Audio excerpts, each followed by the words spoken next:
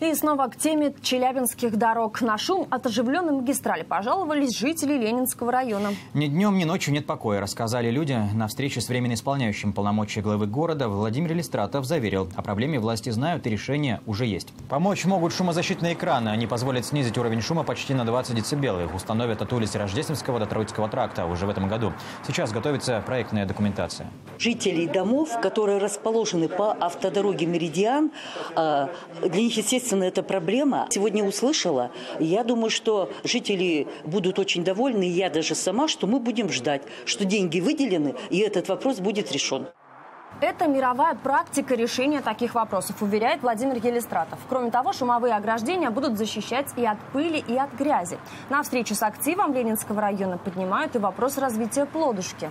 Ну, как ни странно, в Ленинском районе достаточно как бы индустриальный район.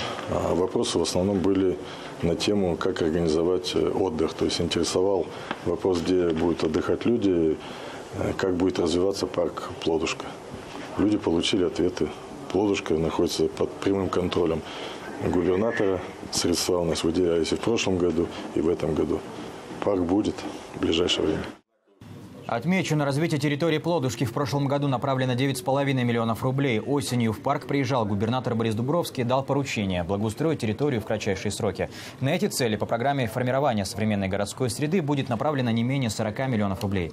Заработает с наступлением тепла и фонтан в пруду «Девичьи слезы». В конце прошлого сезона он не функционировал из-за обмеления водоема, а теперь его будет питать скважина.